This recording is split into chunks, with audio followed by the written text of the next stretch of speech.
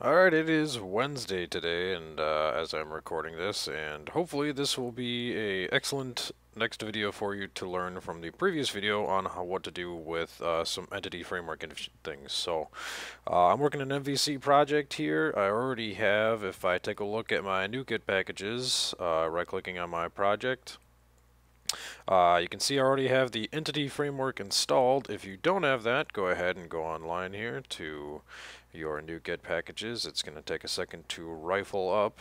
Uh, and let's see, I'm going to pause real quick. Okay, and actually it came back pretty quick. Alright, so anyways, so the entity framework you can see right here is at the top. Uh, this would be the package that you want to install. I'm going to go ahead and install all the other packages that are necessary for this tutorial. So, uh, in any case, let's go ahead and uh, let's do something with our users view here. Um, get rid of this. If you remember from last time, we created a view and we created this table called users and a users view, and we've uh, uh, I don't think we actually we made any stored procedures. Oh, we did. Yep which was to get user settings. Um, we're going to be using Entity Framework, and in the next tutorial I'm going to show a LINQ to SQL and how to use that with these stored procedures. So let's go ahead and uh, so let's say we get a username passed into here, and uh, we need to do something with it. Well, first of all, we need to uh, go ahead to our users content going to go over my users model and do a couple things here. So you can see we have this uh, class which represents a row within the users table here and then we have a users view which represents a row in our users view.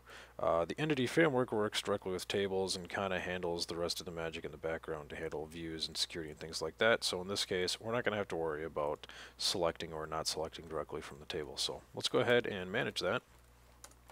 And to do that, we're going to make a DB context, and essentially it's uh, going to be pretty, almost forgot, class users context, whew, inherits from system.data.entity at db, or uh, db context.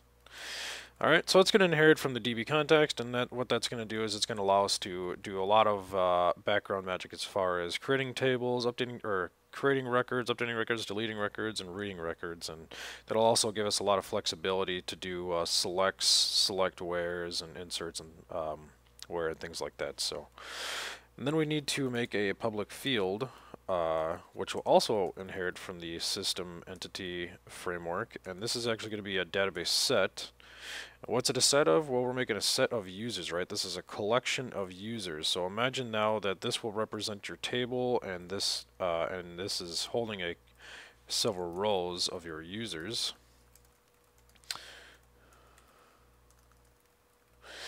And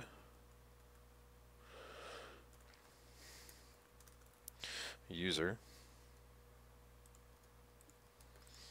There we go. And I'm going to build my project here. Yeah, that's looking fine. Okay. Well, for some reason that's not showing up, but I will, uh, I'll fix that later in the set. So I think there's just something goofy running in the background.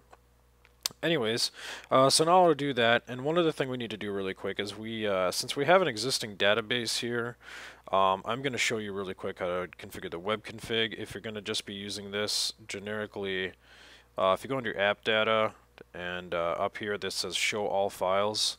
Uh, if you don't have a database already generated, it will generate a temporary one for you here. So in this case, we want to connect to this guy. So I'm going to make a connection string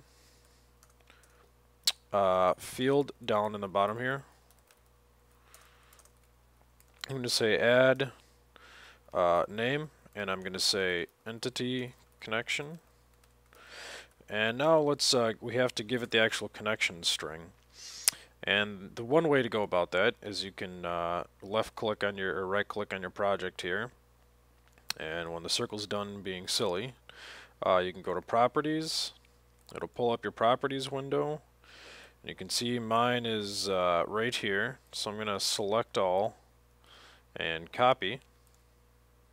And uh, close my properties window out. I'm just going to paste it right in there. And we need to do a couple things now. So I'm going to move my connection string down here. So it's going to set the data source. Data source is fine. One thing you can do here now, though, uh, you need to get rid of that quote. I'm going to delete all the way up until just about our database here, and you can actually say uh, attach DB file name, you can say data directory like that and it'll actually know to look in your app data folder then. So actually it'll just look in your app data folder and then there you go and then in for mine I've integrated security is equal to true yours might be false or SSPI or something completely different uh, that I've never seen before so so anyway, so yeah, this is all there is for your connection string. And then last little bit, we need to uh, we need to tell the entity framework to use this.